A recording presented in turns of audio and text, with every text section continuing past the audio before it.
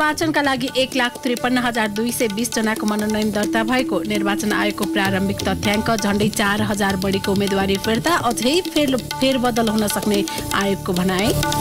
मध्य प्रदेशमा एक सय छत्तिस पालिकामा राष्ट्रिय मान्यता प्राप्त सहित नयाँ दल र स्वतन्त्र उम्मेद्वारले प्रतिस्पर्धा गर्दै आसन्न स्थानीय तहको निर्वाचनका लागि चुनावी सरगर्मी बढ्दो दलित समुदायमा स्थानीय निर्वाचनको रौनक छैन।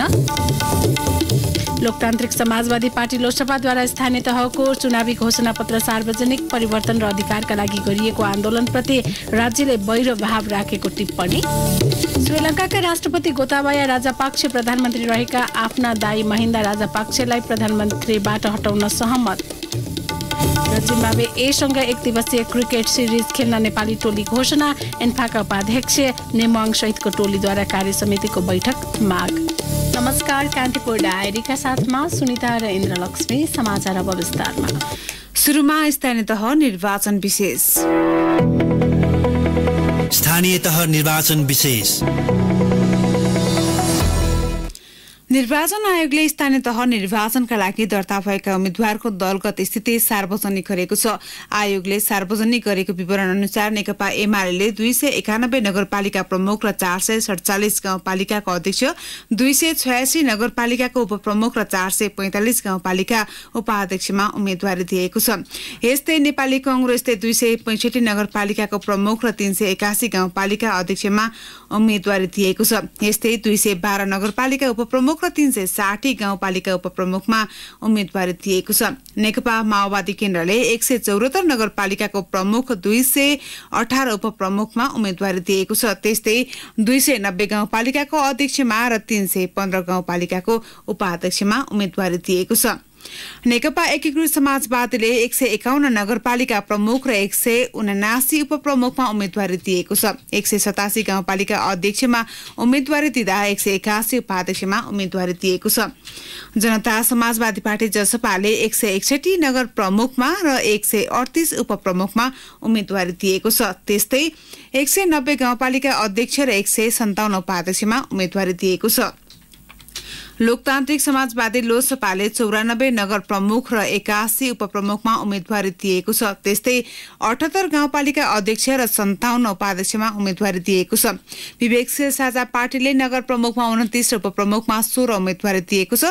गाउँपालिका अध्यक्षमा दस र उपाध्यक्षमा तीन उम्मेद्वारी परेको आयोगको तथ्याङ्क छ। यद्यपि यो विवरण प्रारम्भिक भएकाले उजुरी र नामावली फिर्ता भएपछिको अन्तिम सूचीमा भने केही फेरबदल हुन सक्ने आयोगले जनाएको छ। आयोगका अनुसार एक लाख त्रिपन्न हजार दुई सय बिस जनाले उम्मेद्वारी दिएका छन्। आसन्न स्थानीय तह निर्वाचनका लागि उम्मेद्वारी मनोनयन दर्ता गरेका मध्ये करिब चार हजार पाँच सयले फिर्ता लिएका छन्। वैशाख एघार र बाह्र गते मनोनयन दर्ता सम्पन्न भएकामा आज साँझ पाँच बजेसम्म फिर्ता लिन समय दिइएको थियो। आयोगले फिर्ता लिनेको संख्या घटबड हुन सक्ने बताएको छ।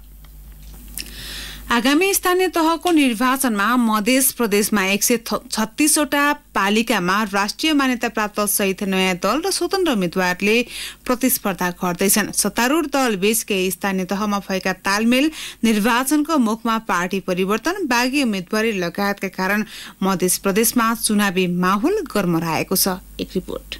मधेस आन्दोलनपछि हुर्किएको क्षेत्रीय राजनीति र दलहरूको विभाजनपछि फेरिएको समीकरणले मध्य प्रदेशमा चुनावी रौनक बढाएको छ। एक महानगरपालिका र तीनवटा उपमहानगर सहित एक सय छत्तिसवटा स्थानीय तह रहेको मध्य प्रदेशमा एमाले नेपाली कंग्रेस माओवादी केन्द्र जनता समाजवादी पार्टी लोकतान्त्रिक समाजवादी पार्टी र एकीकृत समाजवादीसँगै अलग राजनीतिक एजेन्डा बोकेको सिके राउत नेतृत्वको जनमत पार्टी निर्वाचनको प्रतिस्पर्धामा छन्। दुई हजार चौहत्तरको निर्वाचन नतिजालाई हेर्दा नेपाली कंग्रेसले चालिसवटा स्थानीय तहमा प्रमुख पदमा जितेको थियो भने एमाले अठार माओवादी केन्द्रले एक्काइस तत्कालीन संघीय समाजवादी फोरमले छब्बिस र राष्ट्रिय जनता पार्टीले पच्चिसवटा स्थानीय तहमा प्रमुख पद जितेका थिए। कंग्रेस बाहेक सबै जसो दलमा आएको विभाजन र नेताहरूको दल परिवर्तनले यो पटक अन्य प्रदेशमा जस्तै मध्य प्रदेशमा पनि चुनावी नतिजाको आङ्कलन गर्न त्यति सहज देखिएको छैन।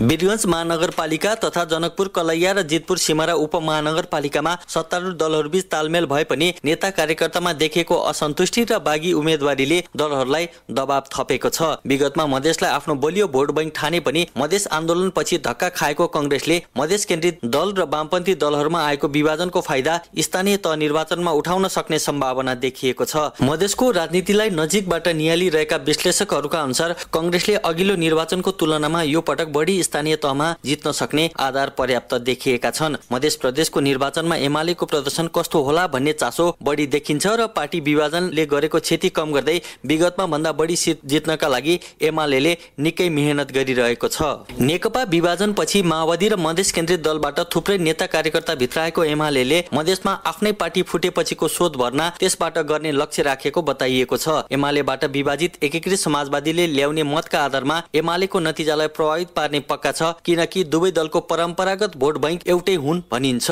जानकारहरू भन्छन् अघिल्लो पटक एक्काइसवटा स्थानीय तहमा प्रमुख पद जितेको माओवादी केन्द्रले त्यति नै जित्न सक्ने आधार भेटिएका छैनन्। तत्कालीन संघीय समाजवादी फोरम र राष्ट्रिय जनता पार्टी मिलेर बनेको जनता समाजवादी पार्टी समेत विभाजन भएकाले यो पटक जसपा र लोकतान्त्रिक समाजवादी पार्टीले मध्य प्रदेशमा देखाउने चुनावी सामर्थ्य अर्को एउटा चासोको विषय हो। पार्टी विभाजनपछि उपेन्द्र यादव नेतृत्वको जसपाले मधेसमा आफ्नो प्रभाव केही बढाएको विश्वास गरिन्छ भने लोकतान्त्रिक समाजवादी पार्टी केही कमजोर भएको हो कि भन्ने विश्लेषण एक थरीले गरेका छन्। स्वतन्त्र मधेसको नारा दिए पनि अन्तत मूलधारको राजनीतिमा आएका सिके राउतको पार्टीले चुनावमा कस्तो नतिजा हात पार्ने हो त्यो आङ्कलन गर्न गाह्रो छ। समग्रमा हेर्दा सबै जसो दल अघिल्लो चुनावको तुलनामा मधेसमा आफ्नो प्रभाव विस्तारको खोजीमा त छन् तर क्षेत्रीय राजनीतिका मुद्दा र जातीय भावनासँग जोडिएको भनिएका मधेसी मतदाताको मन जित्न उनीहरूले चलाउने चुनावी अस्त्रमा निर्वाचनको नतिजा निर्भर हुने देखिएको हो। रेडियो कान्तिपुरका लागि अनिल बोगटी जनकपुर धाम।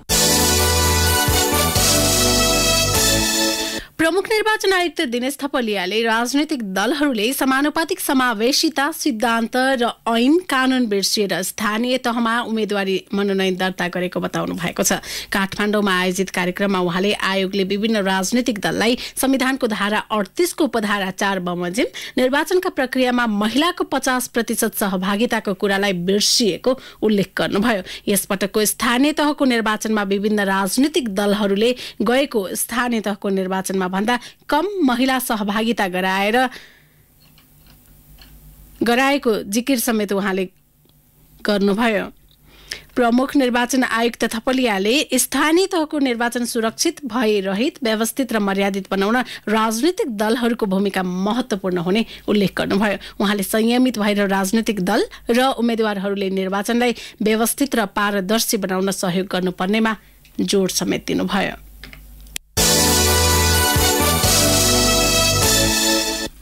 लोकतान्त्रिक समाजवादी पार्टी लोसपाले आज स्थानीय तहको चुनावी घोषणा पत्र सार्वजनिक गरेको छ। उसले घोषणा पत्रमा लोकतन्त्र औपचारिकतामा सीमित भएको र समावेशिता पश्चगमनतिर लम्किएको उल्लेख गरेको छ। घोषणा पत्रमा नेपालका प्रमुख राजनीतिक दलहरू विचार शून्य अवस्थामा पुगेको टिप्पणी गरिएको छ। घोषणा पत्र सार्वजनिक गर्दै अध्यक्ष महन्त ठाकुरले परिवर्तन र अधिकारका लागि गरिएको आन्दोलनप्रति राज्यले वैरभाव राखेको टिप्पणी गर्नुभयो। जनताको साथ जुन दमन भयो जुन अत्याचार भएको छ त्यो त जनताले अरूले बुझ्न पाओस् कि कुन किसिमको दमन भएको थियो एउटा शान्तिपूर्ण आन्दोलनमा। र कसरी चाहिँ आन्दोलनकारीहरू चाहिँ मारिए कुन अवस्थामा मारिए यी कुराहरू कम्तीमा सर्वसाधारण जनताको समक्ष आओस्। हामी यति चाहन्छौँ। घोषणा पत्रमा नेपालमा रहेको भौगोलिक र सांस्कृतिक विविधतालाई नेपालको सौन्दर्य र शक्ति दुवै भएको भन्दै यसलाई बुझ्ने नेतृत्व नपाउँदा भावनात्मक एकता हुन नसकेको उल्लेख छ। घोषणा पत्रमा गुणस्तरीय खानेपानी ओडामा पर्याप्त बजेट छुट्याउने विषय समेटिएको छ। स्थानीय सरकारले आफ्ना कर्मचारी आफै भर्ना गर्ने बताएको छ।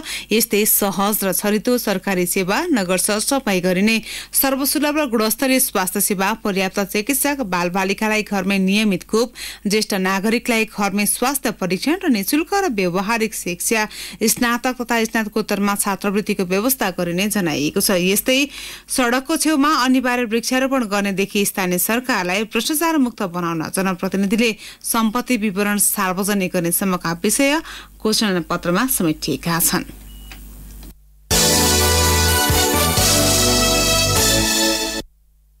मध्य प्रदेशको राजधानी जनकपुर धामबाट करिब चौ चौबिस किलोमिटर दक्षिणमा रहेको मुसहर बस्तीमा खानेपानी शिक्षा र स्वास्थ्यको पहुँच त धेरै परको कुरा भयो। बस्तीमा अझै शौचालयसम्म छैन। भारतीय सीमा नजिकै रहेको गाउँपालिका कार्यालयको आडैमा रहेको बस्तीका दलित समुदायका नागरिकले अहिलेसम्म स्थानीय सरकारको उपस्थिति महसुस गर्न सकेका छैनन्। त्यसैले उनीहरूलाई आसन्न स्थानीय तह निर्वाचनबारे त्यति धेरै चासो पनि छैन।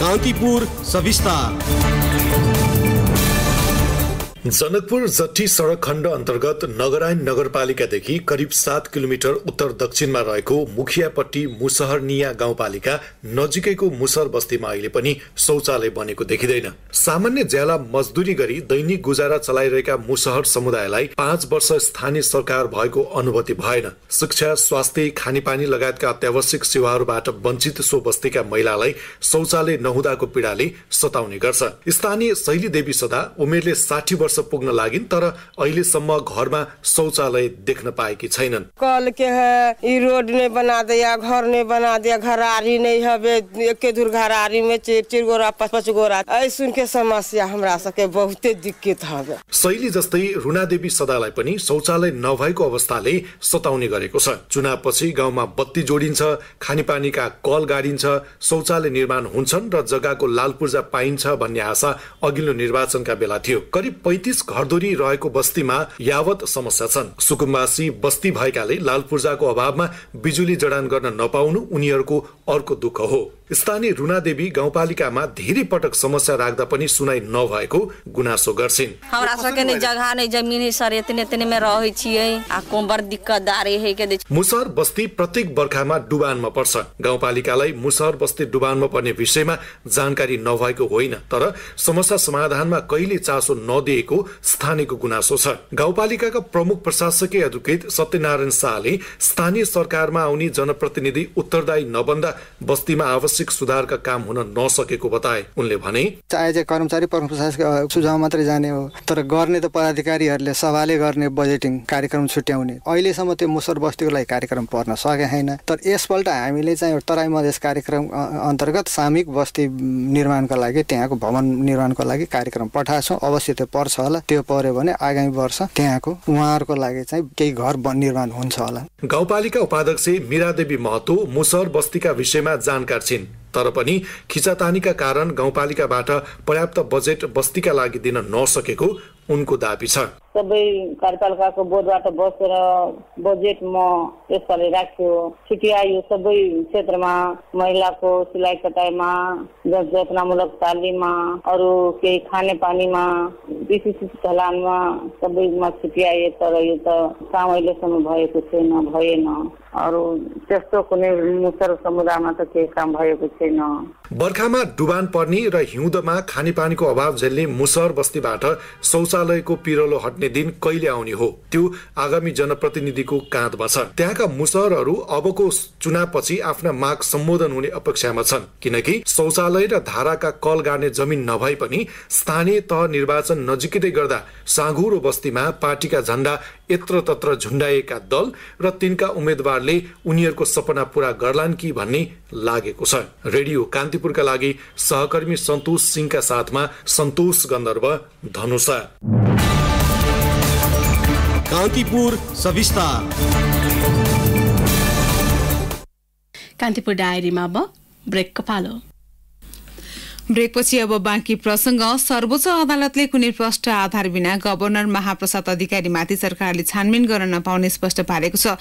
यो सँगै गभर्नर अधिकारीले निरन्तर काम गर्ने बाटो खुलेको छ। सर्वोच्चले भनेको छ कुनै पनि व्यक्तिलाई पदबाट मुक्त गर्दा स्पष्ट आधार र कारण खुलाउन आवश्यक हुन्छ तर उक्त मान्य सिद्धान्त विपरीत निवेदकलाई कुनै कारण र आधार नखुलाई केवल कार्यक्षमताको अभाव जस्तो अस्पष्ट र वृहत आधारमा निलम्बन गर्ने कार्य गरिएको हुँदा विपक्षीहरूको सो निर्णय स्वेच्छाचारी भएकाले बदरभागी छ। न्यायाधीश सपना प्रधान मल्ल र टङ्क बहादुर मोक्तानको आजको इजलासले यसअघिको अल्पकालीन अन्तरिम आदेशलाई निरन्तरता दिएको हो। यसअघि न्यायाधीश हरि फुयालको इजलासले गभर्न गभर्नरमाथि जाँचबुझ गर्न गठन हुने समितिको नेतृत्वमा सर्वोच्च अदालतको पूर्व न्यायाधीश रहने प्रावधानमाथि व्याख्या हुनुपर्ने भन्दै गभर्नरलाई काममा फर्किन पाउने गरी अल्पकालीन अन्तरिम आदेश दिएको थियो। कार्यक्षमताको अभाव जस्तो अस्पष्ट आधारमा निवेदक अधिकारीमाथि निलम्बन गर्ने कार्य भएकाले सरकारले जाँचबुझ समिति गठन गर्न नमिल्ने अदालतले जनाएको छ। गभर्नरको कार्यकाल पूरा नहुँदैको अवस्थामा निलम्बन गर्ने गरी भएको मन्त्री परिषदको निर्णय कानून विपरीत रहेको सर्वोच्चको ठहर रहेको छ।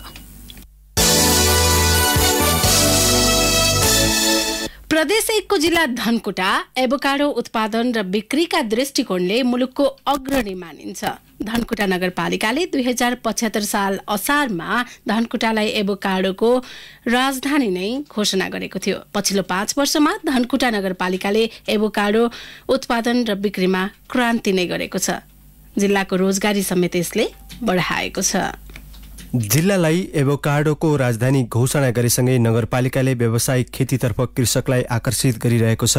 प्रत्येक घरका करिसा बारी र आसपासमा देखिने एभोकाडोका बोट बिरुवाले नगरपालिकालाई मनोरम र हरियाली बनाएको छ। आफ्नै एभोकाडो नर्सरी एभोकाडो पार्क तथा एभोकाडो महोत्सव गरेर नगरपालिकाले कृषि व्यावसायिक प्रवर्धनात्मक काम गरिरहेको छ। पछिल्लो पाँच वर्षमा एभोकाडोको उत्पादन नगरपालिकामा एक सय तेइस प्रतिशतले वृद्धि भएको नगरपालिकाका आर्थिक विकास अधिकृत विकास अधिकारीको भनाइ छ। हाम्रो त्यो बेलाको टार्गेट के थियो भने उत्पादन वृद्धि गर्नुपर्छ उत्पादन वृद्धि गर्नुपर्छ भन्नेमै थियो। त्यही बेला हामीले मास प्रोडक्सनको लागि चाहिँ हामीले बिरुवा रोप्ने वृक्षारोपण गर्ने र त्यसका लागि किसानलाई चाहिँ हामीले प्रोत्साहित गर्ने कार्यक्रमहरू अगाडि सार्यौँ र त्यसको मुख्य उपलब्धि अहिले अहिले हामीले तुरुन्तै यो अठहत्तर सालमा हामीले गणनामा गरेका छौँ र त्यसको प्रारम्भिक हामीले रिपोर्ट पनि प्राप्त भइसकेको छ। र त्यो हुँदाखेरि के देखिन्छ भने हामीले पचहत्तर सालमा गरेको बेसलाइन सर्वेको आधारमा हेर्दाखेरि अहिले एक सय तेइस प्रतिशत चाहिँ यो यो जुन फल्दै गर्दै गरेको बिरुवाहरूमा वृद्धि भएको छ। एक सय तेइस प्रतिशत चाहिँ वृद्धि भएको छ। नगरपालिकामा पाँच वर्ष अघिसम्म फल्दै गरेका तीन हजार छ सय चौसठी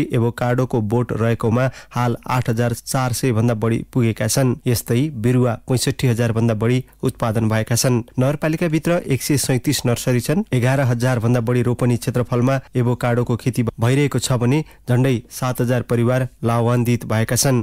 एभोकाडोको बिक्रीबाट वार्षिक तीन करोड रुपियाँसम्म आमदानी गर्न सफल भएको र पछिल्लो समय उल्लेखीय मात्रामा रोजगारी सिर्जना गर्न सफल भएको बताउँछन्। कृषि विज्ञ जीवन राई। नगरपालिकाको कृषि पर्यटन कार्यक्रम अन्तर्गत एभोकाडो कार्यक्रमले चाहिँ दुई हजार पचहत्तर सालमा सुरु भएर यो अहिलेसम्म आइपुग्दाखेरि चाहिँ यसमा कृषकहरू चाहिँ प्रत्यक्ष रूपमा रोजगारी प्राप्त गरेका छन् र यसमा नर्सरी गर्ने कृषकहरूमा असाध्यै ठुलो उत्साह र यसमा चाहिँ नि उनीहरूले फुल टाइम रोजगार प्राप्त गरेको अवस्था छ भने एभोकाडो खेती गरिरहेका कृषकहरू व्यावसायिक रूपमा चाहिँ नै अब लागिरहेको अवस्था हामीले प्राप्त गरेका छौँ। एभोकाडोको खेतीले नगरपालिकामा प्रशस्त मात्रामा रोजगारीका सृजना कृषि पर्यटन प्रवर्धन तथा वातावरणीय प्रदूषण नियन्त्रणमा पनि उल्लेख्य योगदान गरेको छ। तर दक्ष कृषक तथा प्राविधिकको अभाव हुँदा अपेक्षा अनुसारको विकास हुन भने अझै सकेको छैन। समय नपुग्दै फल टिप्ने जस्ता समस्या पनि देखिएको बताउँछन् अगुवा कृषक ज्योतिराम पोखरेल। अन्तर्राष्ट्रिय हिसाबमा चिनिएको जानिएको अलिक गुणस्तरीय एभोकाडको खेतीतिर चाहिँ हामीले अब सोचाइ बनाउनु पर्छ अहिलेको पुरानो खालको खेती भनेको चाहिँ एभोकाड भन्दा रोप्यो। गुणस्तरीय एभोकाड गुणस्तरीय माल फल भएपछि पक्कै पनि बजारको व्यवस्था हुन सक्ला अहिले। अनि एउटा बजारको व्यवस्थापन हुन सक्ने कुरा छ। एउटा मूल्य निर्धारण हुन हुनुपर्ने कुरा अनिवार्य देख्छु म। अब यो जसले पनि जति पनि भाउ भन्ने मूल्य निर्धारणको कुरा बजार व्यवस्थापनको कुरा अनि यो चाहिँ मेच्योर भएर टिप्ने कहिले टिप्ने कहिले खाने भन्ने कुरा कुरा पनि अलिकति ख्याल पुर्याउनुपर्छ यो काँचैमा साउन भदौमै टिपेर यो धेरै एभोकाडोहरू ड्यामेज भइरहेको छ। धनकुटा कुनै समय सुन्तला खेतीले नेपालमै महत्वपूर्ण जिल्लामा गनिन्थ्यो तर जिल्लामा पछिल्लो समय सुन्तला खेती मासिँदै गएको छ भने कृषकहरू एभोकाडो खेतीतर्फ आकर्षित हुन थालेका छन्। बाहिरी जिल्ला र विदेशमा समेत निर्यातको सम्भावना भएपछि धनकुटा नगरपालिकाले पछिल्लो समय एभोकाडोको प्रवर्धन गरिरहेको छ र कृषक पनि यसैमा आकर्षित हुन थालेका छन्। प्रदेश एकको मुख्य उत्पादन बालिका रूपमा चौधवटै जिल्लामा एभोकाडो खेती खेतीको प्रचुर सम्भावना रहेको सरोकारवाला बताउँछन्। रेडियो कान्तिपुरका लागि धनकुटाबाट रमेश चन्द्र अधिकारीका साथमा अनिल परियार काठमाडौँ। सिन्धुलीमा जीप दुर्घटना हुँदा तीनजनाको मृत्यु भएको छ। सिन्धुली माडीबाट चकमके वायरिङ जाँदै गरेको जीप तीनपाटन गाउँपालिका वडा नम्बर पाँच नक्कलीमा आज दुर्घटना हुँदा सोही गाउँपालिका नौ आम्बोटेका पैंतालिस वर्षीय तुलसीराम पहाडी एकाउन्न वर्षीय रामजी प्रसाद भण्डारी र कमलामाई नगरपालिका सातका तीस वर्षीय रूपा मगरको मृत्यु भएको जिल्ला प्रहरी कार्यालयका डीएसपी मनोज कुमार लामाले जानकारी दिनुभयो। बागमती यसलाई पुनः सुन्नुहोस्। जीपमा सवार अन्य सातजना यात्रु घाइते भएका छन्। घाइतेको स्थानीय बेलघारी स्वास्थ्य चौकीमा उपचार भइरहेको छ। पछिल्लो पटक नेपालमा चौध जनामा कोरोना भाइरस संक्रमण पुष्टि भएको छ। दुई हजार सात सय एकहत्तर जनामा गरिएको परीक्षणबाट सो संख्यामा संक्रमण पुष्टि भएको स्वास्थ्य तथा जनसंख्या मन्त्रालयले जनाएको छ। नेपालमा हाल सक्रिय संक्रमितको संख्या भने दुई सय त्रिचालिस रहेको छ। पछिल्लो पटक उन्नाइस जना संक्रमित संक्रमण मुक्त भएको मन्त्रालयले जनाएको छ। मोरङको केराबारी गाउँपालिकाको निर्वाचन कार्यक्रम स्थगित भएको छ। गाउँपालिकाको वडा नम्बर दुईको खुला सदस्यमा कंग्रेसबाट उम्मेद्वारी दिएका नवीन लिङदेन लिम्बुको निधन भएकाले निर्वाचन कार्यक्रम स्थगित गरिएको निर्वाचन अधिकृत भानुभक्त नेउपानेले बताउनुभयो। अर्को निर्वाचन कार्यक्रम तालिका सार्वजनिक नहुन्जेलसम्म सम्पूर्ण निर्वाचन कार्यक्रम स्थगित गरिएको उहाँले बताउनुभयो। लिम्बुको हृदयघातका कारण शुक्रबार मृत्यु भएपछि कंग्रेसका केराबारी गाउँपालिकाका सभापति प्रकाश बस्नेतले निर्वाचन अधिकृतको कार्यालय केराबारीलाई लिखित रूपमा जानकारी गराउनु भएको थियो। लुम्बिनी प्रदेशसभाको हिउँदे अधिवेशन वैशाख बीस गते आह्वान गरिएको छ। प्रदेशसभा सचिव दुर्लभ कुमार पुन मगरले विज्ञप्ति जारी गर्दै प्रदेशसभाको नियमावली दुई हजार चौहत्तरको नियम तीनको उपनियम एक बमोजिम प्रमुख प्रदेश प्रमुखको आह्वानमा बैठक बोलाइएको उल्लेख गर्नुभएको छ। प्रमुख प्रतिपक्षी दल एमालेको निरन्तर विरोध र अवरोधका बीच प्रतिस्थापन बजेट पारित गर्दै गत असोज उनातिस गते प्रदेश सभा अन्त्य गरिएको थियो। छ महिनाभित्र बैठक बस्नुपर्ने कानूनी बाध्यता भएपछि चुनावको मुखैमा भए पनि केही दिनका लागि प्रदेशसभा आह्वान गरिएको उपसभामुख कृष्ण थारूले जानकारी दिनुभयो। कान्तिपुर डायरीमा पुनः ब्रेकको पालो ब्रेकपछि अब आर्थिक प्रसंग नेपाल सरकारले मलेसिया सरकारलाई सन् दुई हजार अठारमा भएको द्विपक्षीय समझदारी कार्यान्वयनलाई थप प्रभावकारी बनाउन आग्रह गरेको छ। मलेसिया भ्रमणका क्रममा रहेका श्रम रोजगार तथा सामाजिक सुरक्षा मन्त्री कृष्ण कुमार श्रेष्ठले मलेसियाका मानव संसाधन मन्त्री दातोक सेरी एम सरावनसँगको भेटमा दुई देशबीच सन् दुई हजार अठारमा हस्ताक्षर भई हाल कार्यान्वयनमा रहेको द्विपक्षीय समझदारीलाई थप प्रभावकारी रूपमा कार्यान्वयन गर्नुपर्नेमा जोड़ दिनुभएको हो। सो समझदारी पत्रमा नेपाली श्रमिक कामदारलाई उचित श्रम वातावरण निर्माणको सहित रोजगारीका थप अवसर प्रदान गर्ने रोजगारीको लागि युवाहरूको छनौट तथा नियुक्तिलाई शून्य लागत सहित स्वच्छ नियुक्ति मलेसियामा रोजगारीमा रहेका नेपालीको स्वास्थ्य सामाजिक सुरक्षा र सामाजिक कल्याणलाई थप सबलीकरण चौबिसै घण्टा प्रभावकारी बिमा सुविधा लगायत विषय समेटिएका छन्। मन्त्री श्रेष्ठले समझदारी पत्रमा भएका सबै विषयलाई प्राथमिकताका साथ अघि बढाउन आग्रह गर्नुभएको छ। अब अन्तर्राष्ट्रिय प्रसङ्ग श्रीलङ्काका राष्ट्रपति गोताबाया राजापाक्ष्यले प्रधानमन्त्री रहेका आफ्ना दाई महिन्दा राजपक्षलाई प्रधानमन्त्रीबाट हटाउन सहमति जनाउनु भएको छ। आर्थिक सङ्कटपछि श्रीलङ्कामा उत्पन्न भएको राजनैतिक सङ्कट समाधानका लागि गठन गर्न लागि अन्तरिम सरकारमा महिन्दालाई हटाउ हटाउन राष्ट्रपति सहमत हुनुभएको हो। सांसद मैत्रीपाला सिरिसेनाले राष्ट्रपति गोताबाया राजापाक्ष संसदमा रहेका सबै राजनैतिक दल सहभागी हुने राष्ट्रिय परिषद गठन गर्न र नयाँ प्रधानमन्त्री बनाउन तयार भएको उल्लेख गर्नुभएको हो।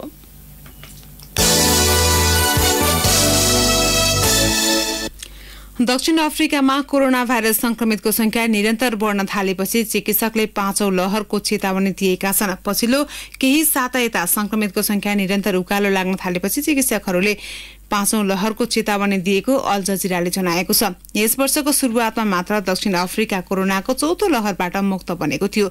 यस वर्षको मे वा जुनमा कोरोनाको पाँचौं लहर शुरू हुने स्थानीय अधिकारीहरूले यसअघि नै बताएका थिए।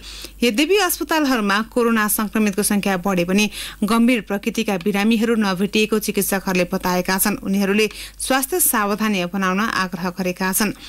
अप्रेलको मध्यमा चार प्रतिशतले बढेको कोरोना संक्रमण यति बेला सो अनुपात उन्नाइस प्रतिशत पुगेको छ। अब खेल समाचार नेपाल क्रिकेट संघ क्यानले जिम्बावे ए विरुद्धको एक दिवसीय सिरिजका लागि नेपाली राष्ट्रिय टोली क्रिकेट टोली घोषणा गरेको छ। क्यानले आज सन्दीप लामिछानेको कप्तानीमा सोह्र सदस्यीय टोलीको घोषणा गरेको हो। नेपालले घरेलु मैदानमा जिम्बावे एसँग तीन खेलको एक दिवसीय र तीन खेलको टी ट्वेन्टी सिरिज खेल्दैछ। नेपालले जिम्बावे ए विरुद्ध किर्तिपुर स्थित त्रिवी क्रिकेट मैदानमा भोलि पहिलो खेल खेल्नेछ।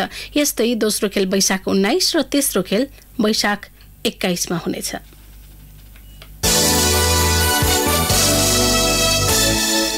इन्फाका वरिष्ठ उपाध्यक्ष पङ्कज विक्रम नेमाङ सहित चारजनाले अखिल नेपाल फुटबल संघ इन्फा कार्य समितिको बैठक राख्न माग गरेका छन्। वरिष्ठ उपाध्यक्ष नेवाङ सहितको टोलीले आज विज्ञप्ति जारी गर्दै अध्यक्ष कर्मा छिरिङ शेर्पा समक्ष बैठक राख्न माग गरेका हुन्। राष्ट्रिय फुटबल टोलीका मुख्य प्रशिक्षक अब्दुल्लाह अल्मुताइरी र प्रशिक्षण छाडेका राष्ट्रिय फुटबल टोलीका असन्तुष्ट खेलाडी बीचको विवाद उत्सर्गमा पुगेपछि उनीहरूले बैठकको माग गरेका हुन्। यसैबीच एएफसी एसियन कप छनौटको तयारीका लागि राष्ट्रिय फुटबल टोलीका मुख्य प्रशिक्षक अल्मुताइरीले सत्रजना नयाँ खेलाडीलाई बन्द प्रशिक्षणमा सामेल गराएका छन्। असन्तुष्ट दस खेलाडीले प्रशिक्षण छाडेपछि अल्मुताइरीले सत्र नयाँ खेलाडी समावेश गरेका हुन्। थप गरिएको सत्रजना खेलाडीले हिजोबाटै प्रशिक्षण सुरु गरिसकेका छन्। प्रसङ्गसँगै कान्तिपुर डायरीका आजका हाम्रा सम्पूर्ण बुलेटिन यही सकिएका छन्। भोलि बिहान नियमित बुलेटिनका साथमा उपस्थित हुनेछौँ। तबसम्मलाई सुनिता र इन्द्र लक्ष्मी बिदा हुन्छौँ। नमस्कार शुभरात्री।